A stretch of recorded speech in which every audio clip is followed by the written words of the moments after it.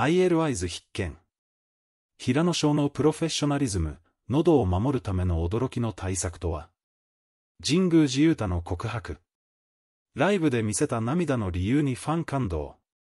岸のラップに隠された秘密、ファンが見逃した微笑ましい瞬間。6月18日から20日にかけて、東京有明アリーナで初の単独公演、 No.O -ring-を開催したナンバーアンダーラインアイ。そのメンバーである平野翔と神宮寺勇太が、個人の SNS にてライブ写真を多数投稿しました。このコンサートは、ファンにとって特別な瞬間であり、彼らのパフォーマンスや舞台裏の一面を見ることができる貴重な機会となりました。SNS に投稿された写真には、ステージ上の華やかなショットから、ステージ裏でリラックスしている姿まで、様々な場面が映し出されています。平野翔は、楽しかった。会えなかった IL ワイズも必ず会いましょうとコメントし、ファンへの感謝の気持ちを表しました。IL ワイズとはナンバーアンダーライン I のファンネームであり、多くのファンがこのコメントに励まされました。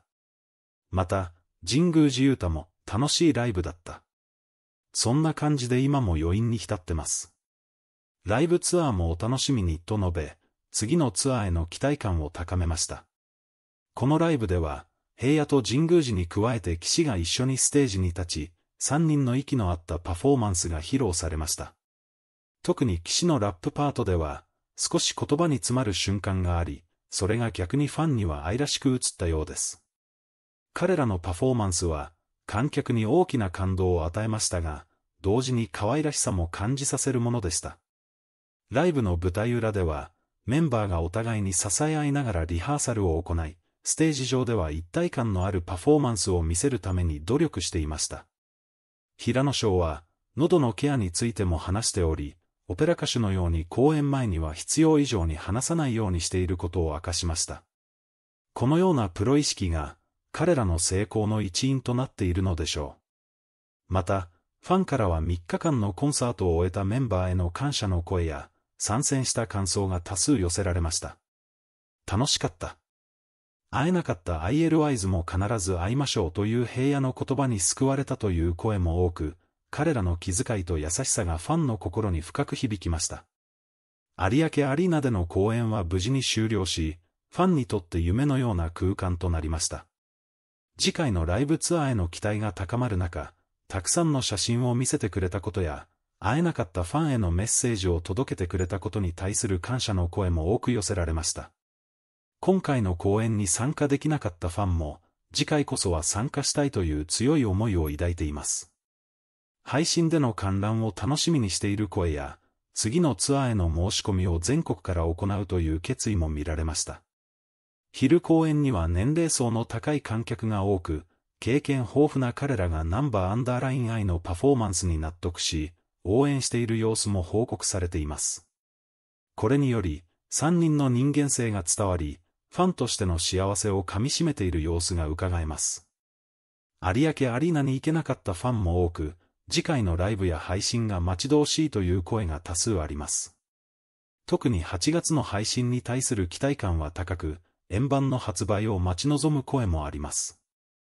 ライブの熱気や感動を共有することで、ファン同士の絆も深まり、彼らの活動を応援する力となっていることが感じられます。ナンバーアンダーラインアイの3人は、それぞれが持つ魅力を存分に発揮し、ファンにとって忘れられない思い出を作り上げました。ステージ上のパフォーマンスだけでなく、舞台裏の素顔や努力の様子も垣間見ることができ、彼らのプロフェッショナルな姿勢が一層際立ちました。このような舞台裏のエピソードや彼らの人間性が、ファンにとっての大きな魅力となっているのです。ライブ後の余韻に浸るファンの声からも、彼らのパフォーマンスがいかに心に残るものであったかが伺えます。ライブツアーの成功を収めたナンバーアンダーラインアイは、次のステージに向けてさらに成長を続けることでしょう。彼らの活動を追いかけるファンにとって、今後の展開がますます楽しみになります。このように、ライブイベントは単なるエンターテイメントではなく、ファンとアーティストの絆を深める重要な機会となります。ナンバーアンダーラインアイのメンバーは、ファンとのコミュニケーションを大切にし、常に感謝の気持ちを忘れずに活動しています。その姿勢が、ファンからの熱い支持を受ける理由の一つでしょう。ライブツアーが終わった後も、SNS を通じてファンとの交流を続けることで、彼らの絆は一層強固なものとなります。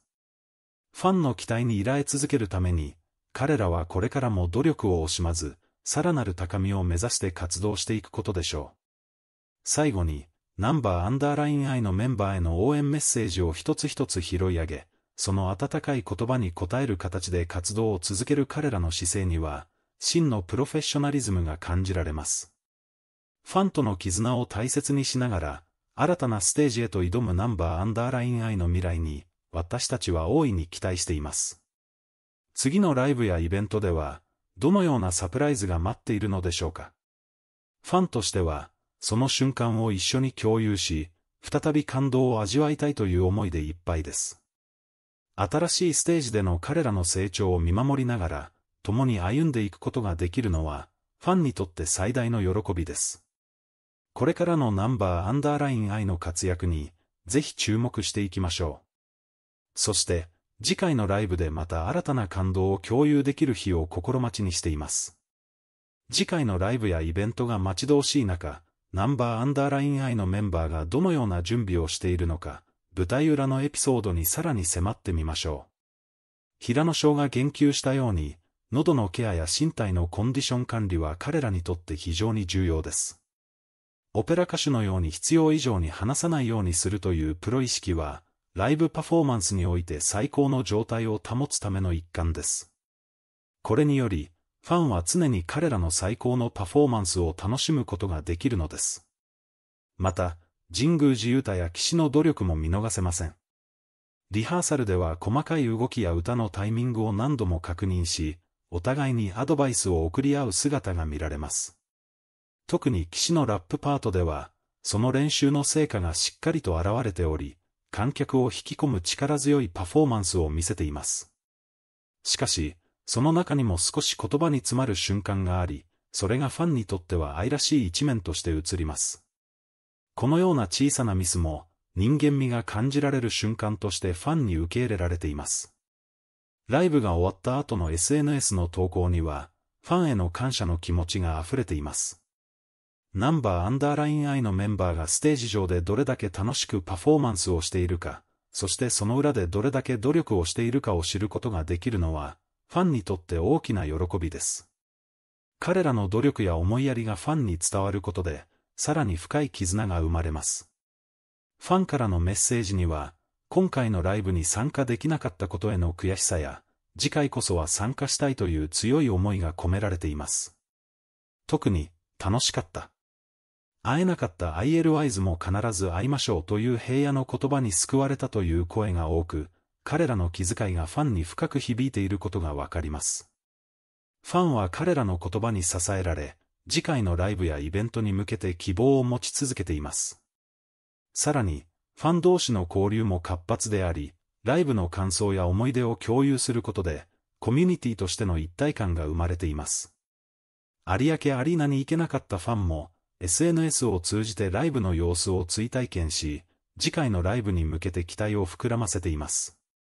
こうしたファン同士の絆も、ナンバーアンダーライン愛の魅力の一部と言えるでしょう。